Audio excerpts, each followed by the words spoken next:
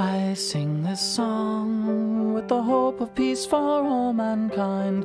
Let's plant a seed of love in our lives. Starting today, turn your enemy into your friend. Take the first step and lend him your hand. High Jazz Project, which included English High students and staff and work study students from Berklee College of Music. The Jazz Project played several school events and met with great success. With the help of like minded colleagues, he is using this success as a springboard to bring larger musical experiences to the English High community. Peter, welcome back once again Thank for, for much, joining Maura. us. And Rick, thank you once again for that beautiful musical rendition. Uh, tell us a little bit about how you and Peter, uh, Peter, you and Rick, got Mm-hmm. tied in and some of the work you've done at English High and elsewhere. Well, as you mentioned, I was the peer mediation coordinator for English High last year, and the organization for which I was working, um, I got forwarded an email that uh, Rick's organization, Jazz for Peace, had sent um, to uh, the, the organization for whom I was working. They forwarded it to, to me because I'm the music guy in, uh, in that organization. And uh, Yeah, just to give you a little uh, off. What, what we do is our volunteers choose organizations uh, based on their mission statements to be potential recipients of our jazz of funds as well as publicity and awareness from our Jazz for Peace benefit concert series. So Peter's organization was chosen. Our volunteers are looking for outstanding organizations that they feel if they were better funded and more publicized, the world would be a better place. That's basically how you know the simplicity Wow. of it. And so Peter was, you know, a chosen organization. And uh, go ahead, Peter. Right, well, we are lucky then, Peter, because obviously uh, your outstanding work has been recognized. And I appreciate you saying that. So, um, I and members of, of your organization, we started a dialogue, and this was back in, in the late winter and early spring, so around March, April.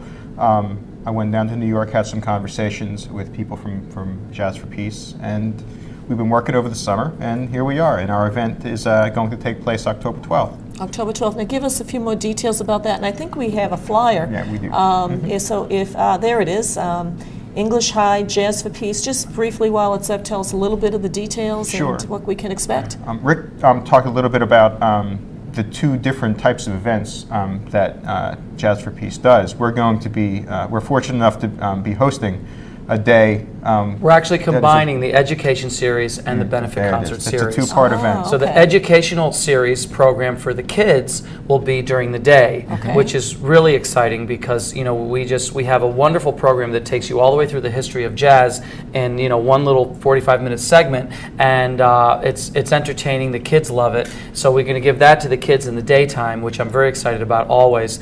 And then at night we have the fundraiser uh, to launch this uh, music program. Right, which that's takes place 6:30 Friday, October 12th. And 6:30 evening. Location again? English High School. English at one- High School. 144 McBride Street. That's right. So right uh, across from Doyle's, for those of you Exactly. who are familiar with Jamaica Plain, we always like to give some landmarks and again the uh, the price of admission. It. Well, there are some discount tickets available. Uh, Peter will tell the number to call that you can still get now. Those are twenty-five dollars per ticket. Okay. Uh, at the door, or, or once these discount tickets run, run out, they will be they're thirty-five dollars per ticket. Okay. But the reason I want to say that is because if someone can, if someone does call, there are a few left, right? Sure. And what sure. number should that tickets be? left. Tickets left. That number's on the flyer. Um, the number is, and I'll give it, it's 857-225-0412. Oh, what what a treat! And uh, how long will the program be? Well, it's our, our events are usually a two-hour event in terms of the benefit concert. Uh, concert. It gives you plenty of time for jazz, but also a little meet and greet. You know, chances for Peter to come up and speak and tell everyone about his program, those sort of things. And it's not too long. You know, people don't have to commit their whole evening. It's short, sweet, and fun. And uh, the after the earlier thing, as I mentioned, was just uh, like a one-hour presentation for the kids. During the day, during oh, the school that- day. that's wonderful. So we get a twofer. Yes. Exactly. Oh, that, that is wonderful. Now talk about you know you have this event coming up, but you know then you're off again. So talk about where you go from here, and then how do you stay in touch, hopefully with us here in Boston, uh, with some of the great work you're doing and actually continuing uh, given the funding that you provide, you know, to our local schools and our students, I'm sure you like to check in and see how they're doing and how those initiatives are, are working out. That is for sure. Uh, well, I'll tell you, the uh, www.jazzforpeace.org is the easiest way to find out about Jazz for Peace. You know, it- you could you could even if you're if you forget that, you could put jazzforpeace.com. Also, will take you there. But jazzforpeace.org uh, takes you there. You can go into current events and you can find out everything. And I'll tell you a, a funny thing. I got a call today from Detroit. Someone who uh, is going to be in New York, and they said we're coming to New York and we want to see you play. I said, well, I think I'll be playing in New York that time. I said, are you online now? They said, yes. so check the events, and they checked the. Oh no no no! You're going to be in Kansas City, and then you're going to be in Chicago, and uh, you have this other thing. You'll be on the 30th, and so I don't have the I don't have it in my memory, but it, it is bet pretty hectic and pretty crazy. In fact, only about three weeks ago, we had an international expansion series concert that took place in Copenhagen, Denmark. Wow. So you know the the world is starting to catch on, and w- again, we have started an international expansion series program, which takes for Peace concerts all over the world. Well, you know, that, that's what's so exciting in the work that Peter, that you're doing here in Boston with, with the, the students, and Rick, the, the work that you do uh, not only uh, nationally, but internationally.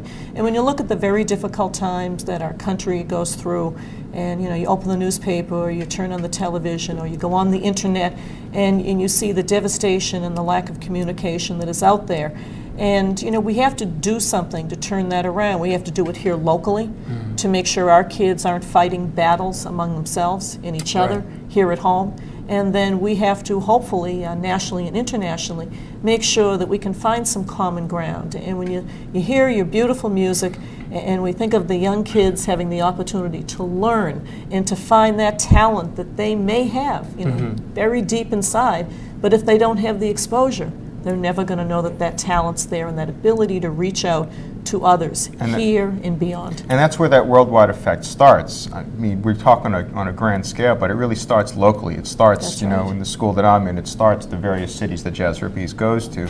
It starts locally. It starts small and it grows. And it only takes a few people starting in different locations, and before you know it, they're all linking up. They're all working on common common pursuits, and it's growing into something that's bigger than anyone else could have thought.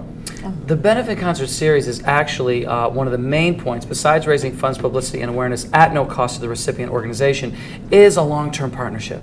So we look at this as uh, a first in a series of opportunities for Jazz Peace to come to Boston and help Peter. And also, Peter is, is so interested in Jazz Peace that we're hoping to work with Peter to bring this to other schools as Oh, well. Isn't that wonderful? Well, it's just great to see the great work that you do, Peter. Thank you. Uh, really, from a pilot perspective, is being recognized by Rick DellaRatta and the wonderful work that he does with Jazz for Peace.